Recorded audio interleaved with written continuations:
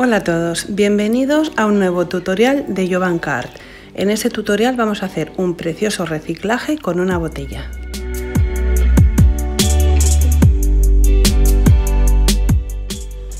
Vamos a empezar haciendo el jarrón utilizando una botella que tiene una forma muy especial y un envase de plástico que este envase en concreto es de una crema de espárragos me viene muy bien la medida de la parte del culo del envase con la parte de la botella. Por eso lo estoy utilizando y además la forma que tiene me va perfecto para conseguir eh, la forma final que quiero en el jarrón. Como tiene estas dos pequeñas pestañitas, se las corto y una vez lo tengo cortado, eh, utilizo cola blanca que sea de calidad para que me aguante la unión para pegar la parte de abajo de la botella con el envase plástico. Tenemos que utilizar suficiente cantidad de cola para que se una bien la botella al envase, porque la parte de abajo de las botellas normalmente pues es cóncava y si no ponemos bastante cantidad de cola no se va a unir bien. Vamos a utilizar papel de plata o papel de aluminio para hacer las asas del jarrón. Vamos a intentar calcular eh, la largura que necesitamos para cada asa y no quedarnos cortos. Es mejor que nos eh, sea un poco más largo y luego recortar que no al revés. Y voy a hacer, pues lo que voy a hacer es eh, presionar muy fuerte el aluminio para que el asa pues por dentro quede compacta y le voy a dar esta forma que estáis viendo primero la moldeo un poquito con las manos y cuando ya tengo eh, el tamaño y la forma decidida los dos extremos de este churro que he hecho los aplano con un alicate para que la unión entre el asa y la botella de cristal sea lo más imperceptible posible.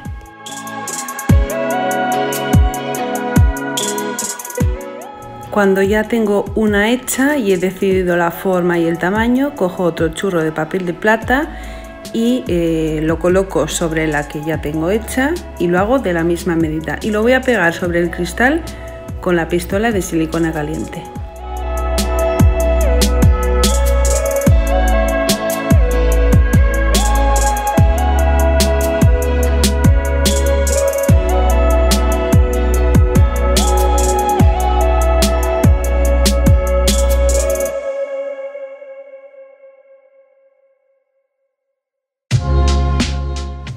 Con el papel de plata o aluminio voy a hacer también el tapón de la botella. En principio voy a hacer pues uno que no va a ser el definitivo, seguramente luego lo voy a tener que retocar porque voy a ir añadiéndole porcelana y va a ocupar más espacio el asa por la parte de arriba, con lo que seguramente luego tendré que retocar la medida, pero más o menos es algo así, algo parecido a una alcachofa.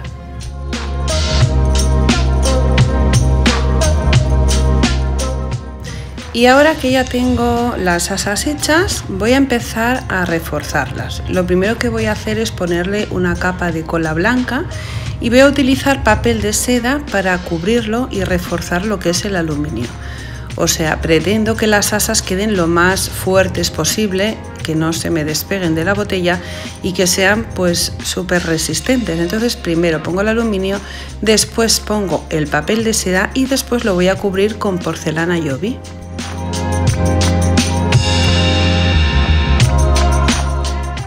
Si no tenéis papel de seda, ya sabéis que podéis utilizar papel de cocina o alguna celulosa que sea fina y sea fácil de mojar o de, mm, llenar de cola blanca.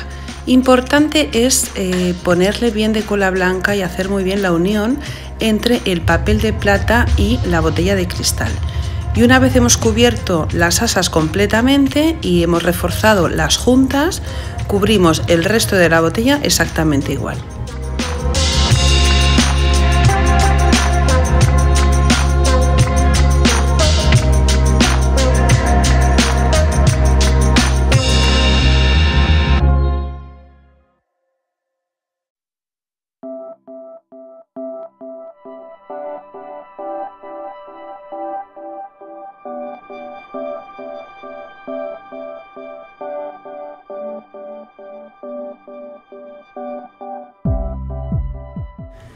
También tenemos que asegurarnos de que la unión entre la botella y el envase de plástico sea suficientemente fuerte. Yo le he dado tres capas de cola blanca y de papel.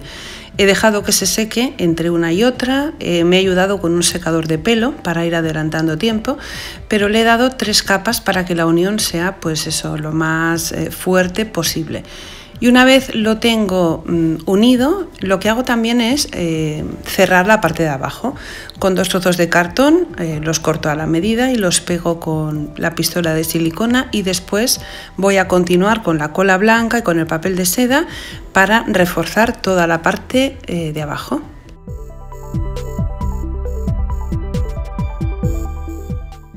El envase de plástico que yo tengo tiene este pequeño hueco abajo y lo que hago es rellenarlo con un poquito más de papel de plata y continúo hasta abajo del todo cubriéndolo con papel de seda y cola blanca. Yo le he dado tres capas, sobre, o sea, en lo que es la botella de cristal y las asas le he dado una, pero esta parte de abajo, como quiero que la unión quede muy fuerte, le he dado tres capas. Y ahora vamos a hacer un poquito de porcelana Yobi. Os voy a o sea, os voy a mm, repasar o recordar los pasos más importantes para hacer la porcelana. Porque hay suscriptoras que me escriben y me dicen que tienen problemas a la hora de hacerla y voy a dejar, eh, o sea, no voy a tocar la imagen, la voy a dejar sin ningún corte, sencillamente voy a ponerla un poco más rápida para que no se haga pesada, pero mm, que veáis que sale súper fácil se ponen 110 gramos de harina de arroz, 100 gramos de cola blanca y una cucharada, mm, unos 5 gramos, de gel o jabón del que utilizamos para lavarnos el cuerpo. Y eh, utilizamos alguna cosa para ayudarnos y empezamos a eh, mezclar los ingredientes. Vamos a intentar que toda la harina que hay dentro de la cola quede dentro de la, de la pasta, dentro de la porcelana. Que nos sobra un poquito, no pasa nada, pero prácticamente tiene que entrar toda. Es como lo que decía la abuela de mi amiga Ana, cuando hacían rosquillas, me cuenta que eh, las ponía a ellas a amasar cuando eran chiquititas y que siempre les decía, tiene que entrar toda la harina, tiene que entrar toda. Y ellas decían, es que abuela, no entra la harina, porque ya no entra. Pues sí entra. Al final entra. Lo que pasa es que le cuesta un poquito, pero un poquito, o sea, tampoco quiere decir que sea muy difícil. Eh, yo utilizo la cuchara para no pringarme demasiado los dedos, pero llega un momento pues, que ya hay que meter las manos y bueno, pues ya una vez está así, meto las manos y empiezo a amasarla hasta que consigo hacer pues como una pelota. La cola blanca que utilicemos tiene que ser una cola de calidad. En ese trabajo no nos queda más remedio que utilizar una cola de carpintero buena, porque me han escrito muchas suscriptoras que tienen problemas a la hora de hacer la porcelana y después de intentar encontrar el problema siempre normalmente es el mismo, que han utilizado una cola escolar o una cola de un bazar o de los chinos y esas colas no son lo mismo, no tienen los mismos ingredientes que una cola de carpintero. Las colas de carpintero son más elásticas y, el resultado es que no tiene nada que ver. Si lo hacemos con una cola barata, nos va a salir como cuarteada, no vamos a conseguir que sea flexible. Una vez tenemos la mezcla acabada, lo más importante va a ser también meterla en una bolsa de plástico y dejarla reposar entre media hora y una hora a la media hora o hora la sacamos de la bolsa solamente el trozo que vamos a utilizar y a ese trozo que vamos a utilizar le vamos a añadir crema hidratante. La crema hidratante mm, en este caso con esta porcelana nos va a ir de maravilla, nos va a ayudar a que sea más flexible y nos va a ayudar a trabajar con ella de una forma que no os he enseñado en otros tutoriales que va a ser para cubrir superficies y es realmente maravillosa. Si lo hacemos o lo hacéis tal cual yo os digo, os aseguro que no os van a salir grietas ni que vais a tener ningún problema en las uniones.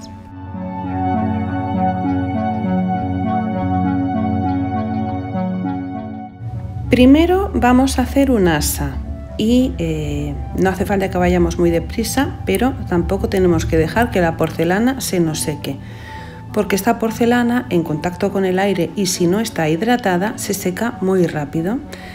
Entonces eh, lo que hago primero es parchear, o sea, mm, tapar completamente la superficie del asa, que ya está dura y rígida, porque ya eh, el papel de seda con la cola ya se ha secado y está completamente rígida. Y entonces lo que hago es parchearlo todo a medida, intentando no trabajar demasiado despacio. Y como estáis viendo, voy pegando trozos de porcelana uno sobre otro y van quedando mm, las marcas, las uniones.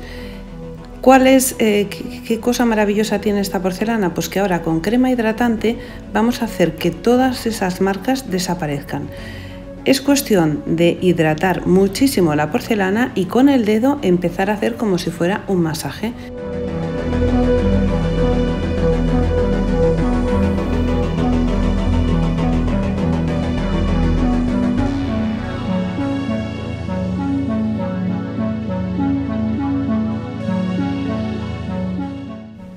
Para hacer esto, lo más importante es que todo el tiempo estemos poniendo crema hidratante en la porcelana y que mientras pasamos los dedos sobre la porcelana esté todo el tiempo hidratada. Así conseguiremos modelarla perfectamente, eh, eh, ajustarla a la forma del asa y además, lo que os decía, que no nos salga ni una sola grieta.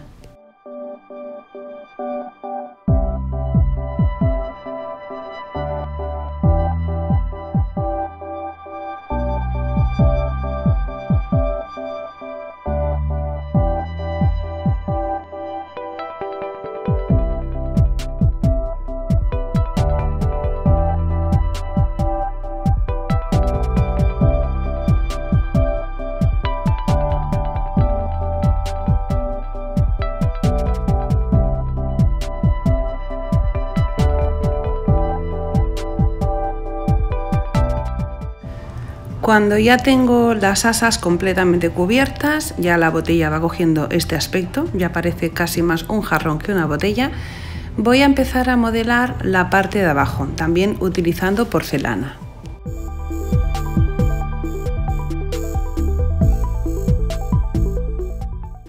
Aquí en esta imagen ves más detalladamente como con la crema hidratante esta unión va a desaparecer completamente. O sea, al hidratar voy dándole forma y voy haciendo que las, uniones desaparezcan. En la parte de abajo le hago esta forma ondulada.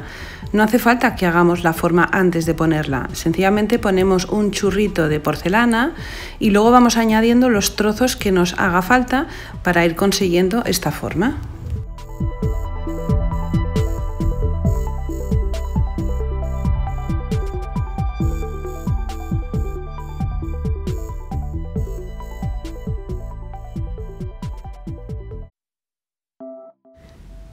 Voy a acabar cubriendo todo lo que es el envase de plástico con porcelana, pero antes he decidido hacer la parte de abajo y poner también un trocito, un churrito en la parte de arriba, en la unión de la botella con el envase, para reforzar un poco la unión y también para que me sirva de punto de apoyo cuando eh, forre con porcelana todo el envase. Eh, voy a dejarlo que coja un poco, no que se seque del todo, sencillamente que, no esté tan blando. Y mientras dejo que esto pues coja un poquito de firmeza, voy a empezar a hacer flores para decorar el jarrón.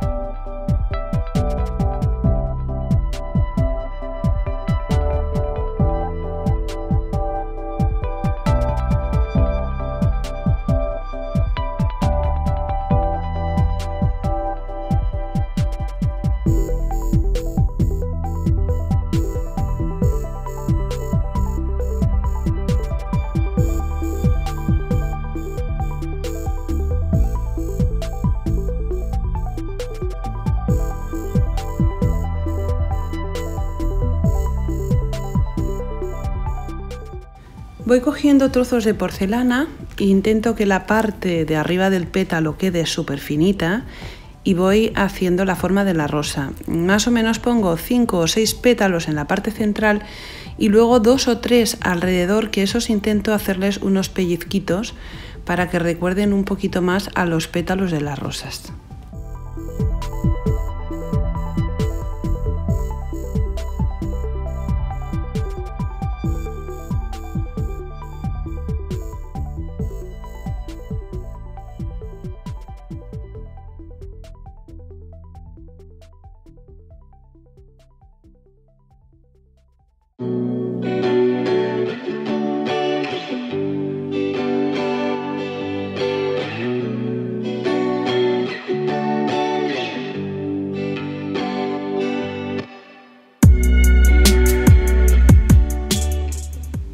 Ya estoy hace rato haciendo flores, estas las hice ayer y ya las tengo prácticamente secas y voy a seguir haciendo otro tipo de flores para poder poner una variedad en la base del jarrón.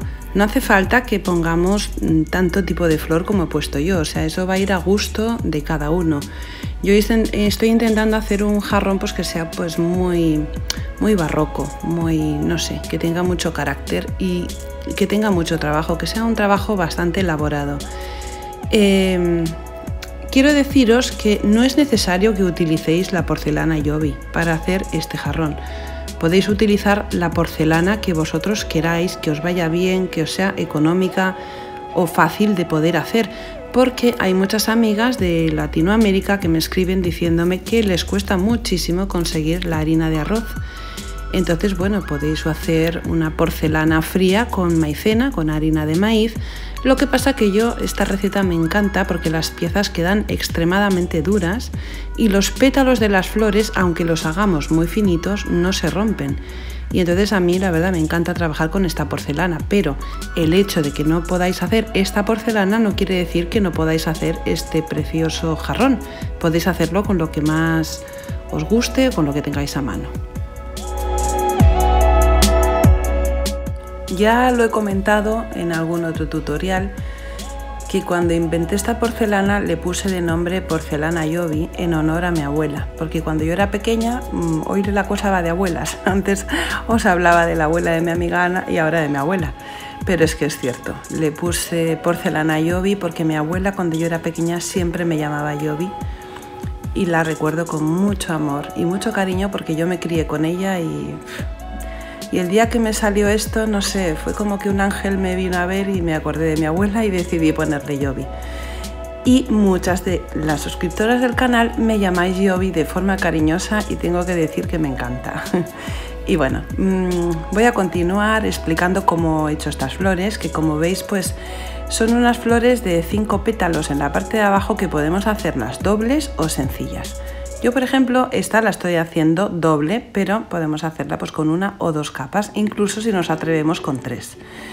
Eh, lo que hago es hacer un churro y el churro lo divido en cinco trozos iguales que van a ser los cinco pétalos y un trocito más grande que va a ser la parte de abajo de la flor donde voy a ir uniendo los pétalos eh, que voy haciendo.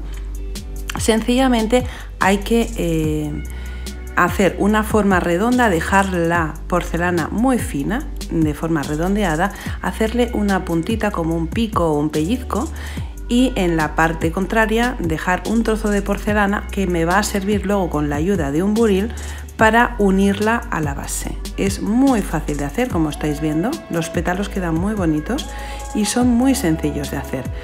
Eh, si hacemos solo una capa, pues eh, perfecto. Si hacemos dos también va a quedar bien. Yo para hacer dos capas lo que hago es intercalar los pétalos y luego con otro trocito de porcelana hago una pequeña bolita que pongo en el centro y con la ayuda de un buril de punta redonda de los que se utilizan para decorar las uñas eh, le hago unos, unas marcas y ya tengo hechas las flores y quedan preciosas.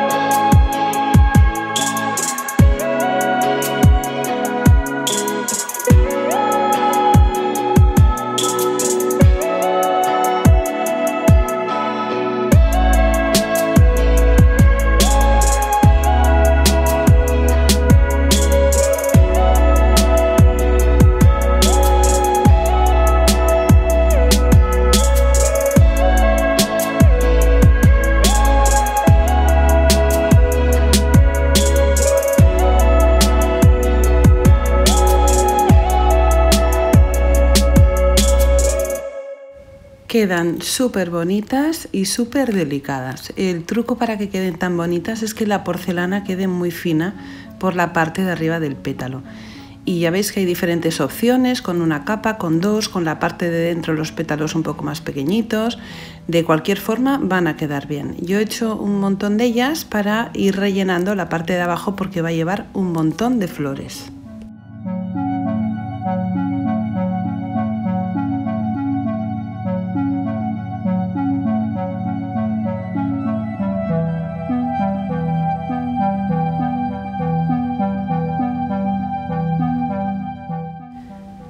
Voy a hacer una forma rara, que no es exactamente una flor, pero como necesito rellenar todo el espacio del envase de plástico, tengo que hacer eh, cosas para rellenar, o sea, si no es que estaría... Realmente he estado como 30 horas, no, no os exagero nada, haciendo flores para todo el jarrón. He hecho eh, exactamente 5 mezclas de porcelana Yobi o sea que lleva bastante trabajo este jarrón, lleva muchas horas de trabajo. Entonces necesitaba hacer algo para rellenar espacios que fuera bonito, que pegara con las flores y que no me diera tanto trabajo. Y entonces he hecho esto, que es como una especie de volante o una flor o no sé, una forma muy bonita que he hecho pues esto que estáis viendo, he hecho un churro alargado eh, lo aplano con los dedos, la parte de arriba la dejo finita y luego la voy eh, doblando haciendo un zigzag pero de forma mm, suave con formas redondeadas y voy uniendo esos trozos y uno como 3, 4 y me va a ir muy bien para rellenar la parte de abajo del jarrón, además queda muy bonito.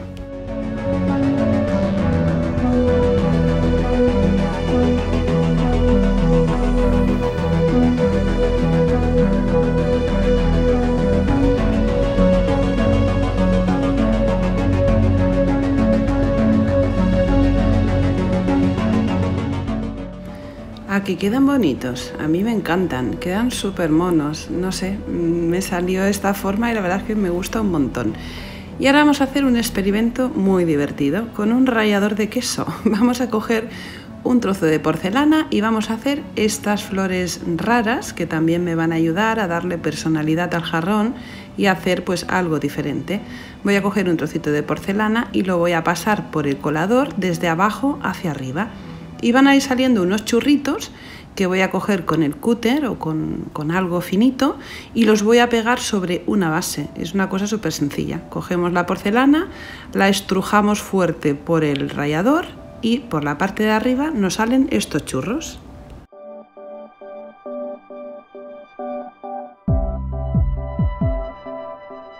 Una vez están hechos, los cojo con cuidado, los deposito sobre la base que ya tengo preparada y como la porcelana está húmeda, cuando se seque quedará perfectamente pegado.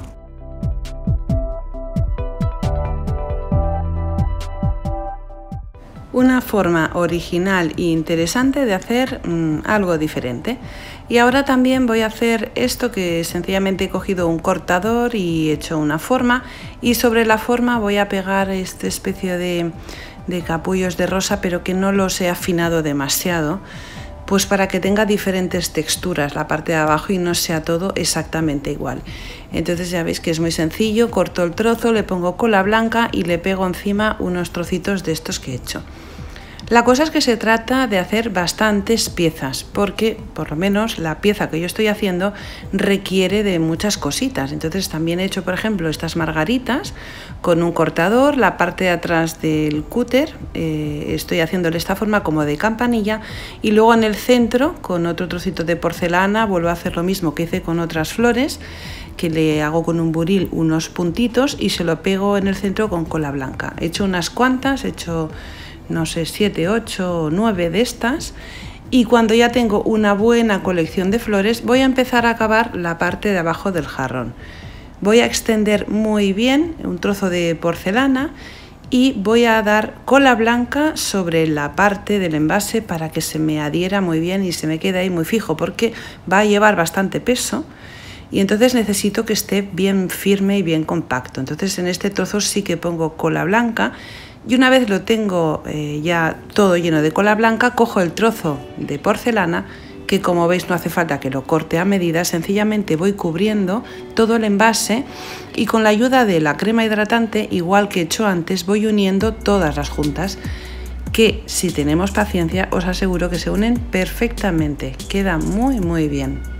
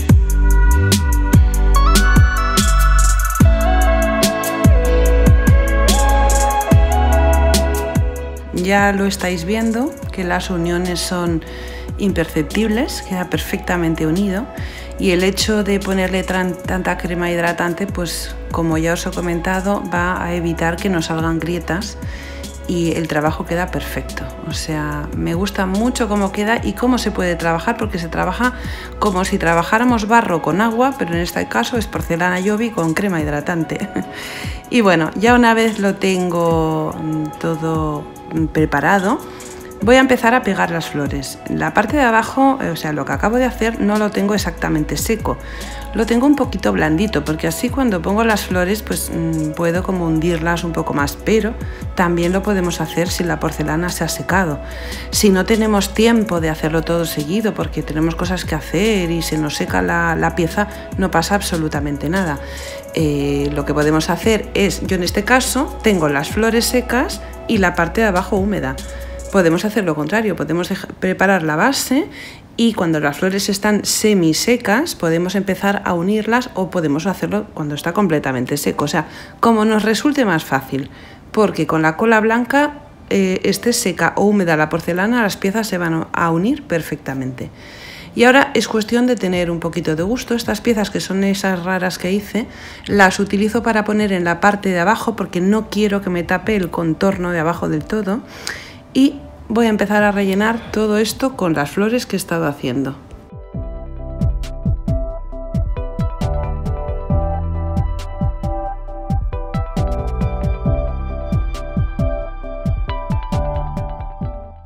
Vamos a poner cola blanca tanto en la base como en la flor para asegurarnos de que el contacto sea suficientemente bueno como para que la flor no se caiga. Las primeras que vamos a poner es fácil asegurarnos de que, van a estar bien pegadas, pero a medida que vamos poniendo cada vez más piezas, resulta que nos quedan huecos pequeños. ¿Y qué pasa? Pues que eh, tenemos que poner bien de cola en toda la superficie de la flor para que en el trozo que entre en contacto con la otra flor o con la base se pegue, porque no vamos a ver exactamente dónde se pega. Entonces es mejor que pongamos bastante cola para asegurarnos que quede bien unido.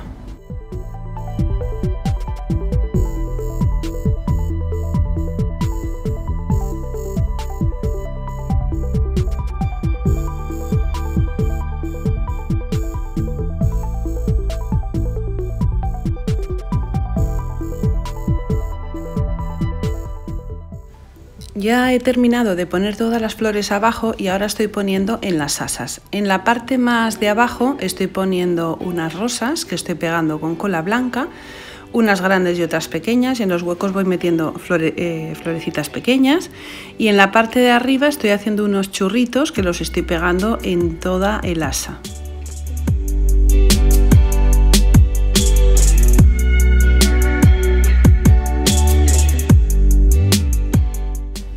Para pegar los churritos a las asas os recomiendo que lo hagáis cuando la porcelana de los churritos está todavía eh, flexible, porque si la dejamos sobre la mesa y se quedan planas, luego no encajan bien en la forma que tienen las asas, porque como es redondeada, pues no nos encajaría. Así que esta parte es mejor hacerla con los churritos que estén todavía sin secar.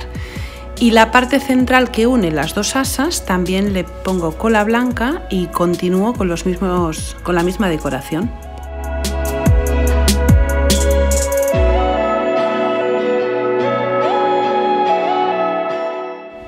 Y ahora que tengo ya todas las piezas pegadas, voy a empezar a hacer el tapón de la botella, el que había hecho al principio con papel de aluminio, que le he dado una capa de cola blanca y lo voy a forrar con papel de seda o con papel de cocina o servilleta o lo que tengamos y luego voy a forrarlo con porcelana, voy a hacer lo mismo que antes, le voy a poner bastante crema hidratante para hacer una pieza lo más lisa posible y después le voy a hacer una decoración sencilla porque como el jarrón ya de por sí tiene muchas cosas, tampoco quiero que el tapón sea demasiado elaborado. Voy a intentar que pegue con el resto de la botella pero que no tenga ni flores ni churritos, voy a hacer algo más sencillo.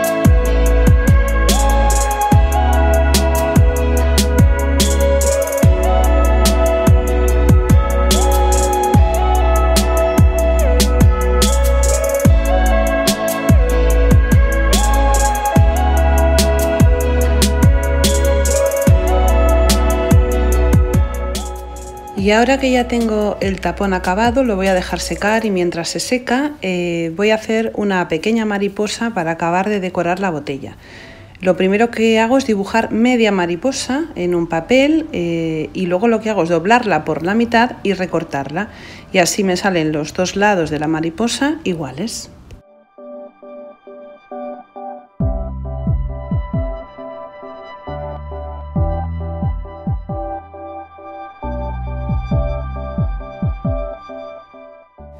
Compruebo que la mariposa me gusta el tamaño que he hecho con el papel y coloco el dibujo que he recortado sobre un trozo de porcelana y con la ayuda de un cúter voy eh, untando o impregnando la punta del cúter con harina y así no se me pega en la porcelana cuando la, cuando la corto. Le quito el papel y le hago un poquito de formitas. Siempre antes voy a coger la crema hidratante, voy a afilarle o eh, mejorar un poquito los contornos de las alas y cuando tengo ya los contornos perfilados o un poquito más bonitos, con la ayuda de un buril, eh, le hago unos pequeños dibujitos. Una cosa sencilla. Eh, para que se seque, como le he puesto tanta crema hidratante está demasiado blandita y entonces he utilizado dos, rotuladores para que me coja un poquito de cuerpo. Y una vez ya está un poquito más seca, no está seca del todo, pero ya ha cogido cuerpo y se aguanta, eh, miro a ver qué tal queda en la botella y una vez veo que me gusta, la pego.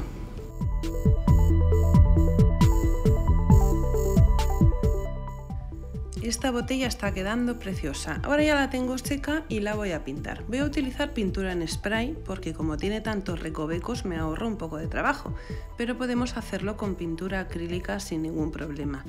La cosa es que yo la he pintado en este tono porque voy a hacerla verdosa, pero este no va a ser el color definitivo. Una vez la tengo así, voy a utilizar una esponja de maquillaje para pintarla de una forma sencilla porque lo que quiero resaltar sobre todo son los relieves y voy a utilizar una paleta de color con verdes suaves, un poco de amarillo, un magenta con un poco de blanco, rositas claritos y voy a ir haciendo manchas en toda la superficie de lo que son las flores, la mariposa y también en la parte lisa de la botella.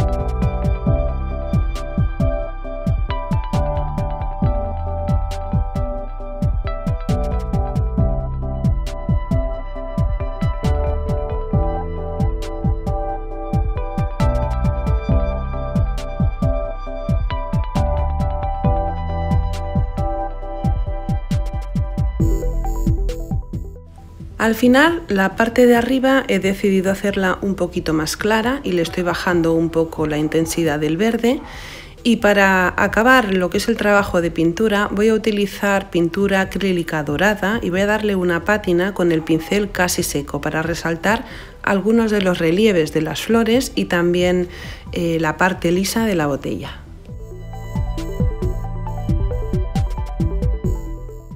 Y para finalizar le doy una capa de barniz. Eh, yo le he puesto una capa de barniz brillante y la voy a poner en el salón de mi casa decorada, o sea, decorando una estantería al lado de cosas muy simples. Todo con tonos blancos, porque como la botella tiene tanto trabajo y es tan elaborada, queda muy bien que esté en un entorno muy liso, muy limpio, para que la botella resalte. Y con esto he acabado este precioso tutorial, espero que os haya gustado. Mm, recuerda que si no estás suscrito me encantaría que te suscribieras, es un gran apoyo para mí. Y solo me queda deciros una cosa, un besito muy fuerte y hasta el próximo tutorial.